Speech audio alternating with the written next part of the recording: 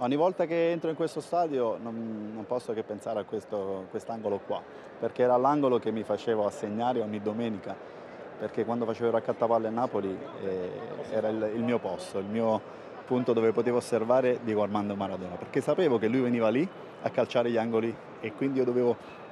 con la mia macchina fotografica dovevo fargli delle fotografie personali e perché sapevo che era il giocatore che ci stava facendo vivere delle, delle cose fantastiche. Questo è lo stadio Diego Armando Maradona oggi, è uno stadio che, che è l'uomo in più, uno stadio che, che ti trascina dal primo all'ultimo minuto, è uno stadio che vuole vedere la sua squadra lottare. E questa è una città che, che ti entra dentro, una città che ti dà soddisfazioni fantastiche se dà il massimo.